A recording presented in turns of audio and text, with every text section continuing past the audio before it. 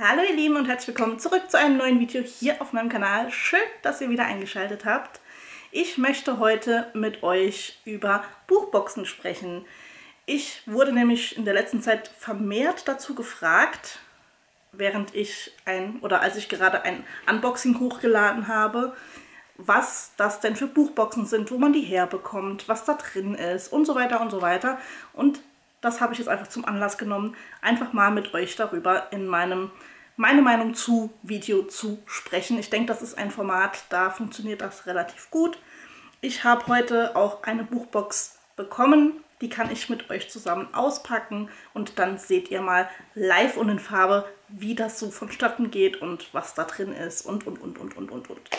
Ja, starten wir vielleicht einfach mal mit der Frage, was ist eine Buchbox? Ja, gerade im Self-Publishing-Bereich ist das ein gern gesehenes Werbemittel, sage ich jetzt einfach mal, weil man darin Artikel packen kann, die zum Buch passen, die den Inhalt irgendwo vielleicht ein bisschen wiedergeben, die vielleicht auch im Buch vorkommen. Ich kann jetzt mal zum Beispiel von mir sprechen als Autorin im Self-Publishing-Bereich. Ich habe zu meinem Debütroman Love Me Girl eine Buchbox gemacht. Darin enthalten war ein Armband mit einer Schildkröte dran. Wenn ich dran denke, blende ich es euch hier noch ein. Weil in dem Buch Schildkröten vorkommen. Ich möchte jetzt nicht so viele Details verraten. Dann habe ich ein Rezept für eine italienische Pasta schön designt und mit dazu gepackt. Und passend dazu ein, eine Kräutermischung, die zu diesem Rezept passt, in so Reagenzgläschen gefüllt. Dann hatte ich einen Schutzengel-Anhänger drin. Dann hatte ich, hm, das ist schon so lange her, was hatte ich noch in meiner Buchbox? Dann hatte ich natürlich Lesezeichen drucken lassen und habe die auch mit dazu gelegt. Also ihr seht, da kann man sich wirklich ganz kreativ austoben im Self-Publishing-Bereich. Natürlich gibt es auch Buchboxen im Verlagsbereich. Da hat der Autor oder die Autorin nicht immer so viel Mitspracherecht, weil das Aktionen sind, die der Verlag plant. Und wenn die Meinung der Autorin oder des Autoren gefragt wird, dann ist das natürlich toll. Aber es gibt natürlich auch Verlage, die das einfach ihrer Marketing- und PR-Abteilung geben und sagen, da haut mal was raus. Ich habe Buchboxen erhalten, zum Beispiel von Game Show. Da war drin ein zum, zum selbst da Popcornbecher, zwei Tüten Mikrowellen-Popcorn, Popcorn, ein kleines goldenes Säckchen, und ganz viel Papeterie zum Buch. Ich habe zu Holly Black House of Night eine Buchbox bekommen. Ich habe zu Kira Lichts Ich bin ein Schicksal eine Buchbox bekommen. Ich habe die hier oben auf meinem Regal stehen. Ein paar davon.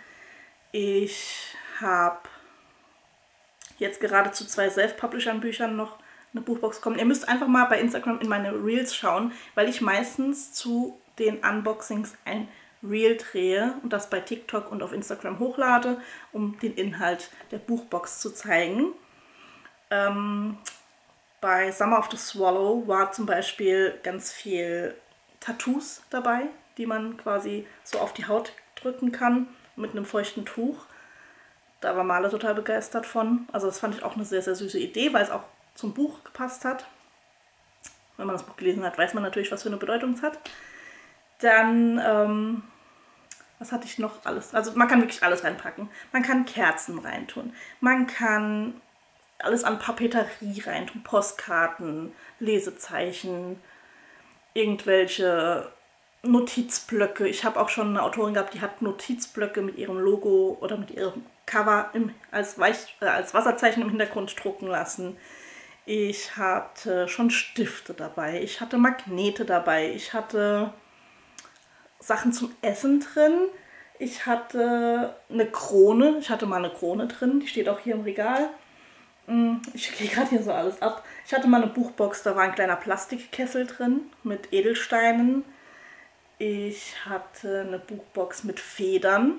Das war die Legende des Phönix. Ähm ja, Kerzen habe ich schon gesagt. Äh, äh, äh, ich versuche gerade mein ganzes Regal zu scannen, was davon in der Buchbox war. Zaubertränke. Manche machen sich die Mühe und machen Zaubertränke rein. Dann. Ja, das war es, glaube ich, so grob aus meinem Regal. Aber da ist der Fantasie quasi keine Grenze gesetzt. Manchmal sind da Sachen drin, wo ich mich frage, was ist das? Bei einer Freundin zum Beispiel, hatte mal eine Buchbox bekommen, da war eine Haarbürste drin. Habe ich mich halt auch gefragt. Ja, es passt irgendwo zum Buch, aber ganz ehrlich, nutzt man so eine Haarbürste denn wirklich? Ich weiß es nicht. Aber ja, da äh, gehen die Geschmäcker natürlich weit auseinander. Ich persönlich finde Dinge gut, die man ähm, auch verwenden kann, wie zum Beispiel Kerzen. Wenn sie mir optisch jetzt nicht so gut gefallen, dann benutze ich sie auch gerne und zünde sie an. Bei der House of Night, ach, House of Night, bei der Holly Black ähm, Buchbox. Da war zum Beispiel eine schwarze, schwarze, diese melierten Standardkerzen drin. Die steht jetzt hier noch im Regal, aber wenn der Winter kommt, denke ich schon, dass ich die auch anzünden werde. Dann gibt es natürlich auch Buchkerzen mit Print außenrum, die, da ist nur 50-50 Chance, wenn sie mir gefallen, zünde ich sie natürlich nicht an. Wenn sie mir gefallen, äh, wenn sie mir nicht gefallen, dann zünde ich sie an. Stifte sind bei mir auch immer gern gesehen. Ich hatte mal noch ein, das hatte ich noch ein Feuerzeug drin. Ähm, ja, Postkarten etc. geht auch immer.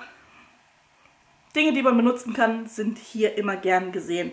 Und ich gehe mal davon aus, weil in dieser Buchbox hier, ähm, weil die markiert ist mit Vorsicht Glas, dass da auch ein glasartiger Inhalt drin ist. Ich würde sagen, ich habe jetzt lang genug erzählt, was in Buchboxen drin sein kann. Wir packen diese hier einfach mal aus und schauen mal live und in Farbe rein, was die liebe Tanja sich dabei gedacht hat bei dieser Buchbox. Uh, ich sehe da direkt schon was, was mir gefällt. Also, wir haben hier ein Willkommensschreiben. Herzlich willkommen bei den Lichtbringern. Dann haben wir hier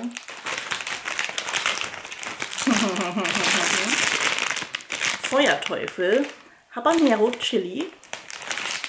Könnte spicy werden. Voll würzig, knusprig, lecker.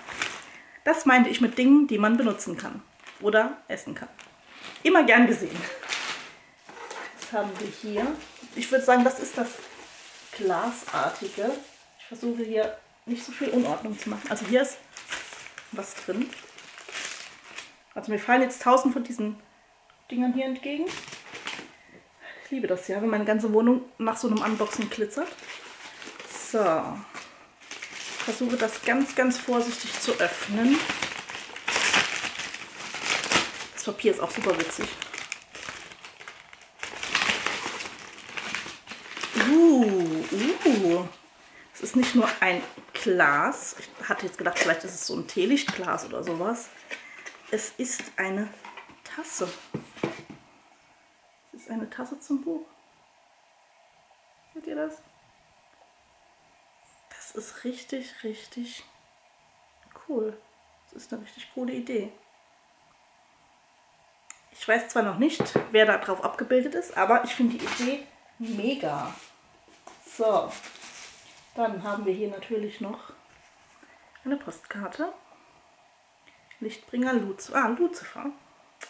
Der ist da auf der Tasse drauf.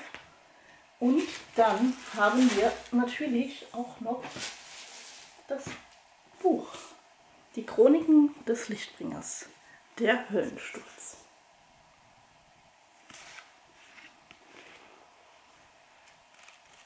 Ihr seht, Schon wieder weiße Seiten. Ich weiß nicht, was die Leute momentan immer mit weißen Seiten haben.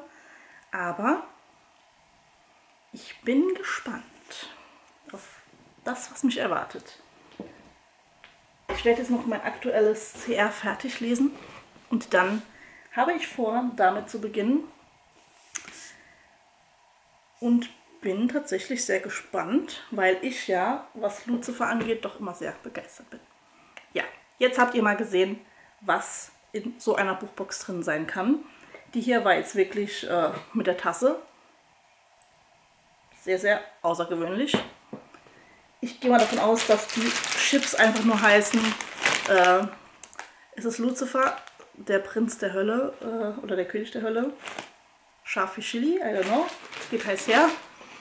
Wir werden es erfahren. Das hier sind jetzt natürlich die Buchboxen, die ich von Verlag oder Autoren zum Beispiel zugeschickt bekomme. Dann gibt es natürlich auch Buchboxen, die man kaufen kann.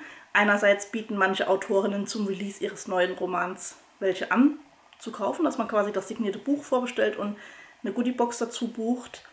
Und dann gibt es natürlich auch Dinge wie Buchmädchen, äh, Chest of Fandoms oder ähm, Bücherbüchse, wo man sich quasi auch Buchboxen bestellen kann. Da ist meistens dann so ein Überthema drüber. Und ähm, was weiß ich, das Überthema ist Fallen Angel. Und dann ist ein Buch drin, in dem es um gefallene Engel geht.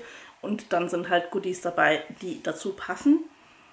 Ich habe in meinem Shop ja auch ab und an Buchboxen. Mal mache ich welche, mal mache ich keine.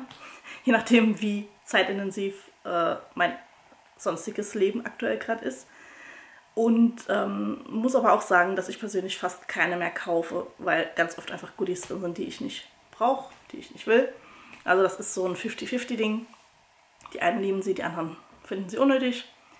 Ich bin da tatsächlich auch ganz oft zwiegespaltener Meinung. Ich mache es meistens so, ich gucke, ähm, wenn die Box erscheint, was drin war. Und manchmal kriegt man dann noch so Restposten zu kaufen oder so einzelne Artikel, die drin waren, die halt bei dem Anbieter noch übrig sind, kann man dann einzeln kaufen. Und das bietet sich für mich eigentlich immer ein bisschen mehr an. Ja, das war es jetzt soweit von mir. Ich hoffe, das Video war interessant für euch. Wenn ihr weitere Videos dieser Art wollt, dann schreibt mir gerne Themenvorschläge. Wir hatten schon Buchschnitte, wir hatten schon Hörbücher, wir hatten schon, wenn Buchblogger zu Autoren werden. Und jetzt haben wir einfach die Buchboxen. Das war soweit von mir. Das Buch verlinke ich euch gerne unten in der Infobox. Ihr wisst wie immer, es ist ein Affiliate-Link und ja, wenn ihr darüber etwas bestellen wollt, dann kriege ich da eine kleine Verkaufsprovision davon. Das war es jetzt wirklich von mir. Ich wünsche euch noch einen wundervollen Tag. Hoffe, ihr schaltet auch beim nächsten Mal wieder ein und habt's fein und bis dann. Tschüss.